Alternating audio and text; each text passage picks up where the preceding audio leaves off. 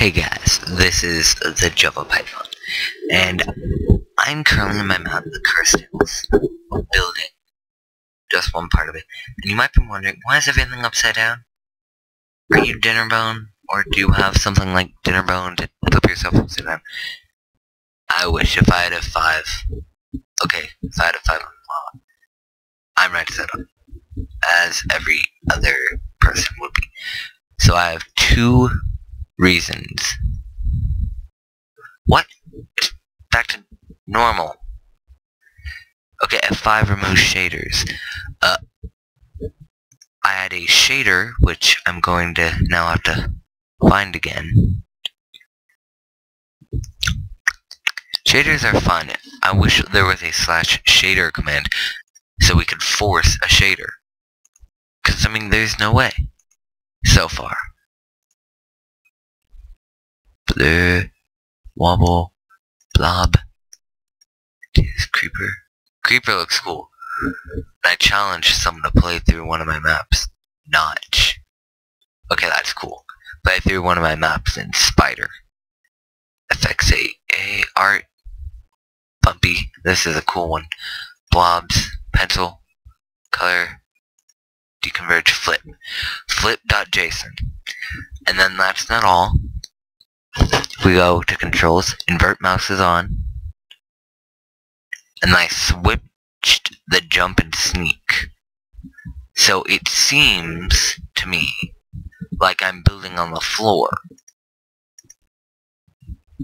And that's exactly what, to me, it seems like. But, in actuality, I'm like, building on the ceiling. Some points of it can be weird, given that it's on your feet are where your hitbox are where your official location is, yet we're currently seeing out of them. So if I sneak all the way to what I'm seeing as the ground, it's really weird. Similarly, if I double hit sneak, which I'm suddenly on the roof. But that looks pretty cool. Uh, this is too low. So I know no one really cares what the ceiling of the Cursed Hills looks like. This is just one area. Uh, there we go. Uh, this is just one area, but I really just need to get these stalactites or stalagmites. One of them. What's the difference? Stalagmites has an emanate. Don't talk. I'm gonna be sick. Potter, first book. Uh, that's probably copyrighted, but that's common knowledge, so I'm allowed to use it. And if you don't remember that, go read the first book. Uh, so yeah, that's about all I've got for you today. Uh, I'm sorry I haven't been posting as much. I've been working on this map.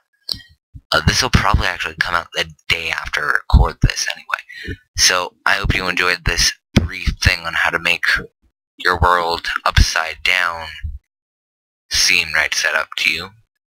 And yeah.